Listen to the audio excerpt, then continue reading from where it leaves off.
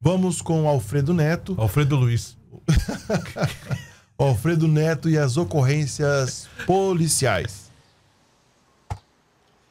Olá, Israel. Uma ótima manhã para você, para o Totó, para todos que nos acompanham nesta manhã de sexta-feira. Essa manhã preguiçosa, onde complica um pouquinho aí os neurônios. É normal. Nada que um café ajude para fortalecer.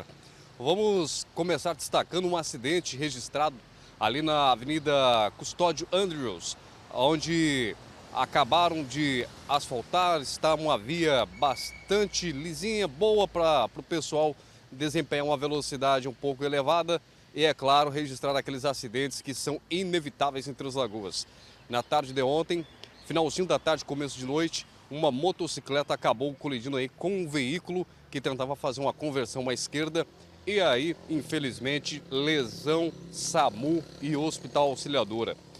A vítima que acabou se lesionando foi arremessada contra o capô do veículo, precisou ser resgatada pela, pelo SAMU, né, o Serviço de Atendimento Móvel de Urgência, e levado para o hospital para passar por exames. A Polícia Militar foi chamada para fazer o registro de acidente de trânsito e, em conversa ali com o condutor do veículo, acabaram aí descobrindo que um dos veículos tentou fazer a conversão, acabando entrando na frente do, da motocicleta e causando um acidente. O caso foi registrado na DEPAC como lesão corporal causada por acidente de trânsito e será investigado pela terceira delegacia de Polícia Civil, que é responsável pela área. E fico alerta para quem vai hoje aí pegar estrada, pegar as avenidas Três Lagoas, as ruas, cuidado com a velocidade. Depois dessa chuvinha, há previsão de mais chuva, o tempo já está modificando para trazer mais chuvas, pista molhada, alguns locais com poças d'água, então é necessário ter aí sempre a atenção redobrada por conta dos acidentes, já que nesse período de chuva tivemos aquele período de seca com vários acidentes, chega a ser até irônico, né? 12 ocorrências de acidente num dia, mas na chuva também acontece bastante acidentes devido às poças d'água e à pista lisa muitos motociclistas acabam sofrendo queda da própria altura com as motos por conta da pista lisa, às vezes numa tentativa de desviar de um buraco, ou na tentativa de desviar de um carro que já está à frente, ou na frenagem acaba acontecendo essas quedas. Israel. É, meu amigo Alfredo, eu desisto de querer entender o que se passa na cabeça das pessoas quando transitam pelas ruas e avenidas da nossa querida Três Lagoas. Porque é uma total é total falta de atenção de ambas as partes, envolvendo todos os, ou todos os personagens do trânsito. Pedestres, ciclistas, motoristas, motociclistas, não sei o que acontece. É uma falta de respeito de todas as partes. E aí, mais um acidente é, ocorre na noite aí de Três Lagoas, né? Agora, Alfredo, o que chama a atenção é a população reclama das vias que estão esburacadas, de vias que não estão pavimentadas. A prefeitura, por seu sinal, vai lá e faz a pavimentação.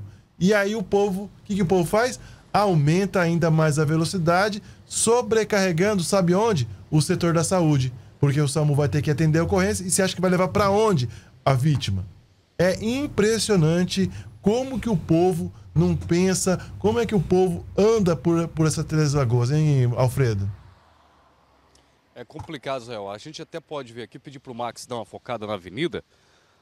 A avenida, as avenidas de Três Lagoas são bem sinalizadas, bem estruturadas, não tem buracos, mas a gente vê que devido à chuva, alguns locais têm algumas poças de água e, é, e para escorrer essa água, a maioria das vias elas são embaladas então embauladas para as águas cair para os cantos. Nesse setor assim é complicado porque quando a chuva está caindo, geralmente há o perigo de deslizar para o canto da via.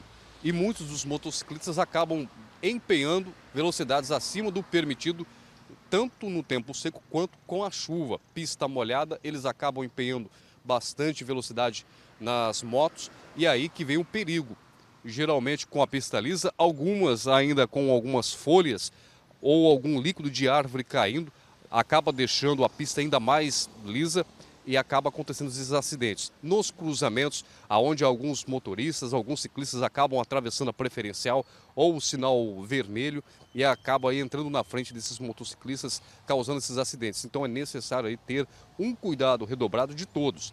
Pedestres, ciclistas, também motoristas de carros e caminhões, porque é nesse horário de pico e também com pista molhada que os acidentes acabam dobrando os números de ocorrências em Três Lagoas, Israel.